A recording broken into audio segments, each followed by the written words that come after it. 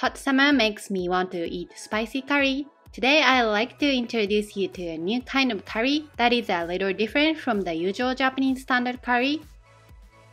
First, I'll introduce the butter chicken curry, which is very popular in Japan. This is a very quick method that requires no preparation and it's perfect for busy people. First, chop the onion. The trick is to use plenty of garlic, Chop this into small pieces as well.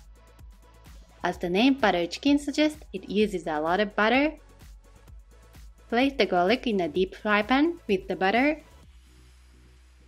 and melt the butter. When the garlic has a nice aroma, add onions. Fry over medium heat for about 10 minutes. Make space in the pan for the chicken You can use any part of chicken you like. Lightly sprinkle the chicken with salt and pepper.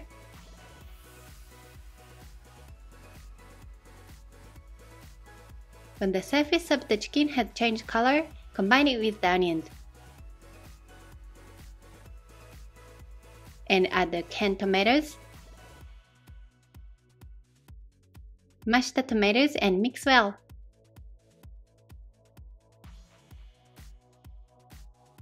Add heavy cream here. And also add the curry roux. Today I'm making curry for two people, so I will put in two curry roux. I always use Java curry.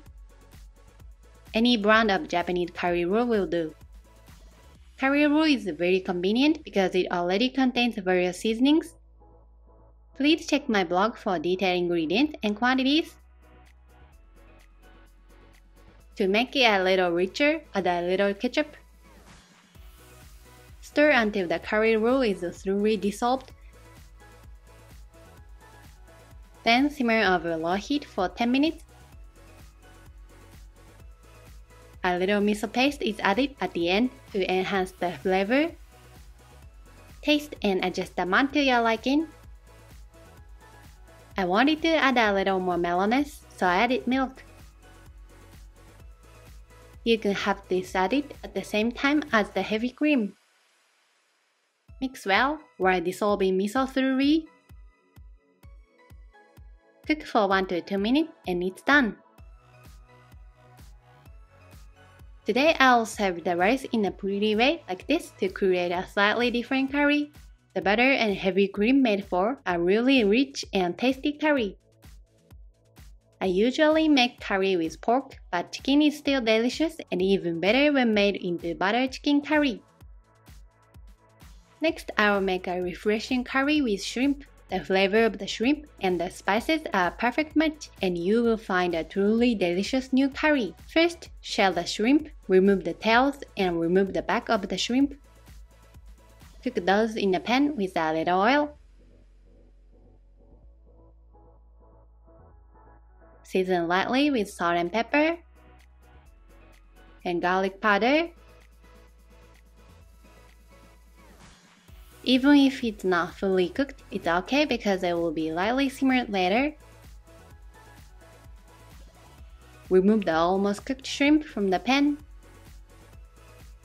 This time use fresh tomatoes instead of canned tomatoes. Peel the tomatoes in advance Make a slit with a knife like this.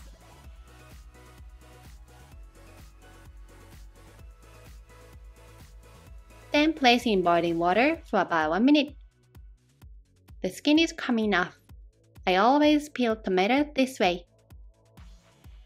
How do you peel the skin? If you have a better way, please let me know. Tomatoes should be about this size. Can be smaller Onions are essential for making curry. Chop them into small pieces. In this case, garlic and ginger are used. Use slightly more ginger than garlic. It's good to add ginger for a refreshing taste. This time use less butter and add some oil. Use any oil you like. Once the butter is melted, add the onions.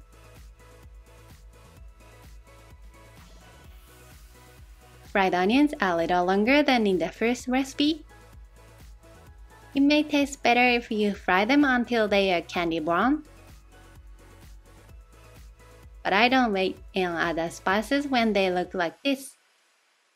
Today's spices are SB curry powder, cumin powder, and garam masala powder. Garam masala contains mainly these spices.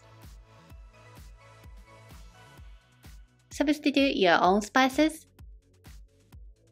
Mix onions and spices well. Add the tomatoes you just chopped.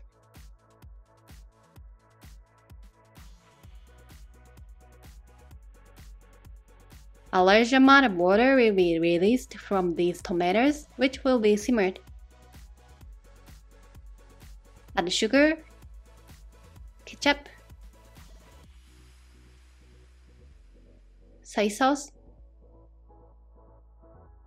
and white wine. Red wine is good too.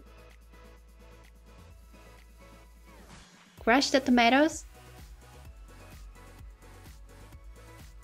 stirring occasionally, simmer on low heat until it's reduced. Unlike curry roux, curry powder contains no salt, so the trick is to salt it well.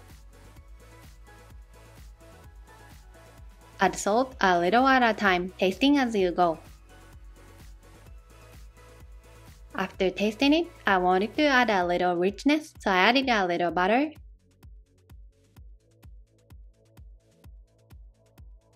In total, I added about 1 teaspoon of salt. If you put quite a bit of salt on the shrimp, you may want to reduce the salt in the curry a little.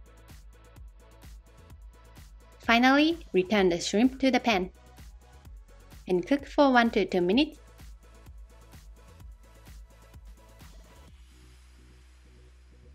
When the curry has thickened to this degree, it's done.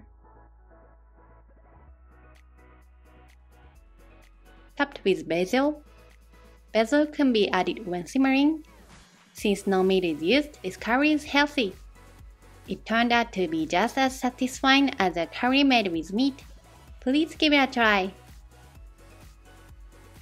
Thank you so much for watching our video. Please subscribe to our channel. If you are already a subscriber and would like to support our channel, please join our membership Membership feedback will be reflected in content creation. See you in the next video.